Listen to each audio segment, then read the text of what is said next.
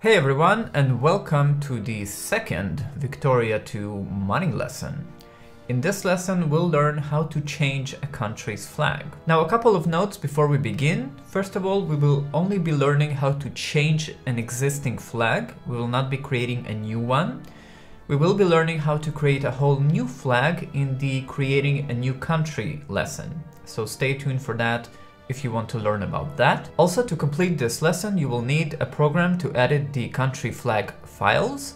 For the purpose of this lesson I will be using paint.net but if you have another software which you are comfortable with using that can edit graphic files that should be fine as well but if it doesn't work for you you can try paint.net.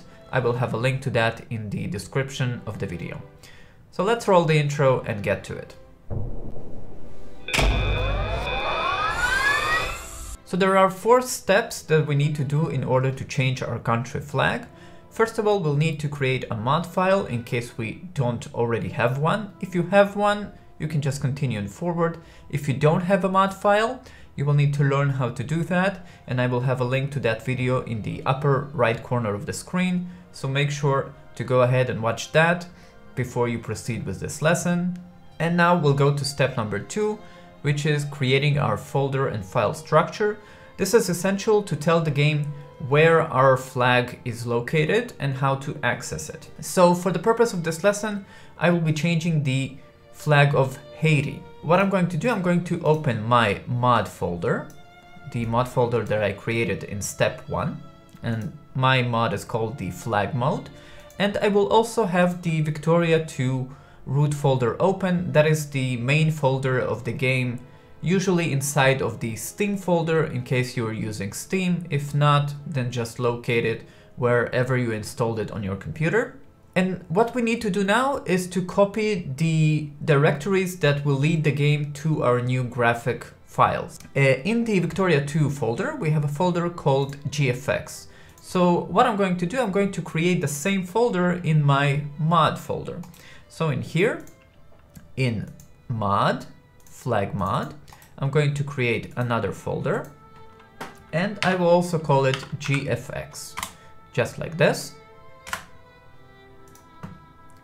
Inside of the GFX folder, we have a folder called flags. So I'm just going to create this folder as well inside of the GFX folder.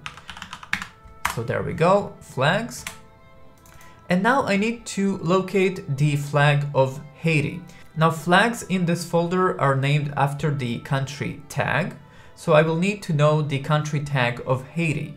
Now, while Haiti might be quite simple, if you're doing it for another country, it might be more difficult to find it. But there is a way to make things a little bit easier.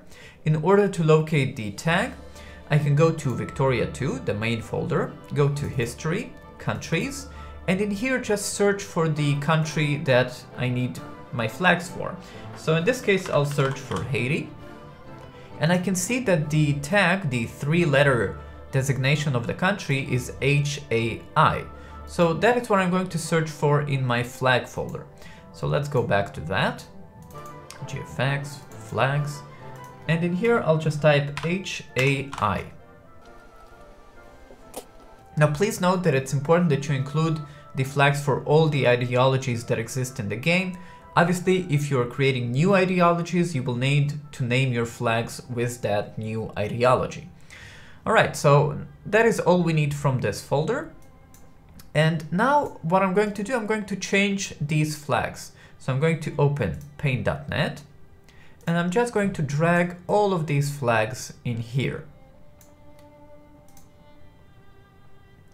Now it's quite natural that you would want different flags for the different ideologies that exist in the game, but for the purpose of this lesson I'm going to make it simple and I'm just going to give it the same flag overall. And of course this is going to be the bikini bottom flag. So I'm going to open that as well. I'm going to select it by pressing Ctrl and A on my keyboard, then copy it.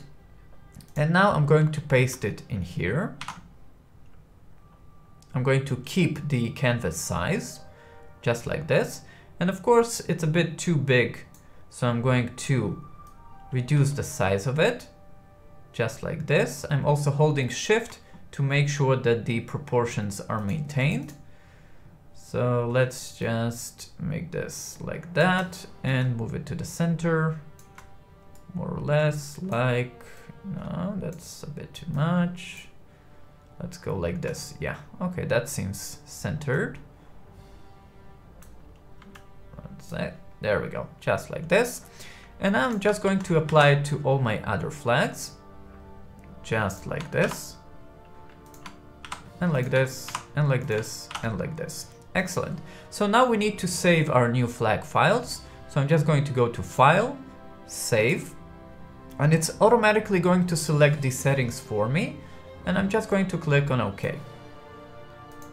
And I'm going to do the same thing in here. And the same thing in here. And I can just press this button here. And just save it here like that. Excellent, so now our new flag files are ready. So let's see, what's the next step? Okay, step number four, we just need to test them in the game. So this is basically all you need to do in order to change a flag in Victoria 2. Quite simple. So let's go ahead into the game and see if it works. I'm going to start the Victoria 2 launcher.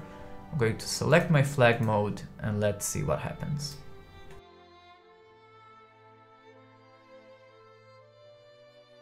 Alright, so we can now clearly see that Haiti now has the appropriate flag of Bikini Bottom and we're essentially done. So that is all you need to know about changing flags in Victoria 2. We are done, as you can see, quite simple.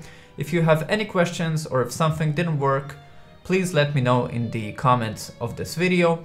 Press the like button in order to give this video a boost so that other people can see how simple it is to create new flags in Victoria 2. Subscribe to the channel to be notified when new lessons are posted. Thank you very much for watching and I will see you in the next video, lesson or tutorial on the Iron Workshop. Bye bye.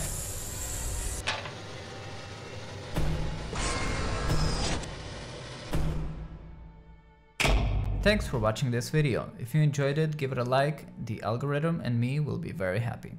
Here are more videos I make. If you like my stuff, consider subscribing to be notified when new content is available. The Iron Workshop lives and thrives thanks to the continued support of my Patreons. If you're willing and able, you can support me on Patreon for just one buck and get access to exclusive and early content. See you around.